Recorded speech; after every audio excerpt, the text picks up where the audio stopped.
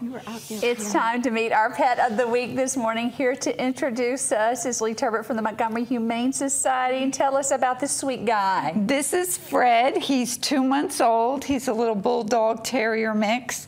He is so sweet, and of course, he's a puppy. So he's doing his little chewing stages right now. Loves to play, loves to be held, but just a sweet little boy. He's going to probably be medium size. Yeah. Um, his little tummy's a little full right now. He's just chilled and relaxed like he wants to take a nap right now. yes, we've been playing with him to try to tire him out. do you have a lot of puppies like Fred right now at the shelter? We do. We have a lot of puppies right now, great variety. So please, if you're looking for a pet, you can come to our shelter at 1150 John Overton Drive. We're open seven days a week. Just go to the um, website and fill out your application. And that's great that you have a variety. I know you work really hard to match families with a pet that's going to be perfect for them. Yes.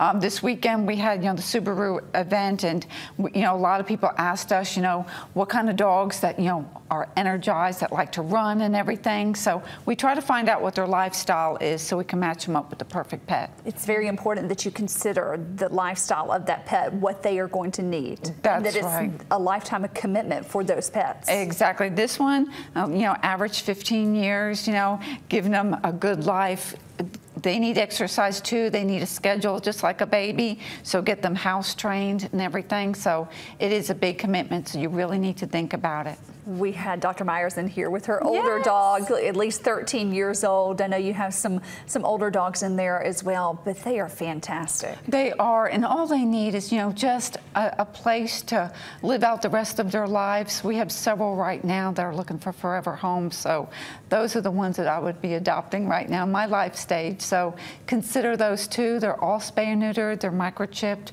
up to date on their vaccinations, and they don't need a lot of attention. They're usually house trained. You don't have to worry about that other training with them chewing and stuff. So. Yes, they have manners. They can walk on a leash. So they just want a good friend.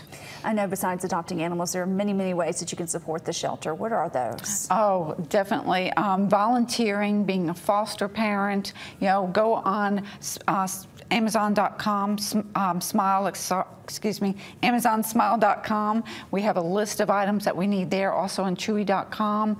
This weekend we'll be at um, the 5K Pupkin Run oh, out on Cloverdale Road. Yes, um, some of our adoptable dogs are going to be out there. So adopt one, go for your run, and you'll have a family when you're done.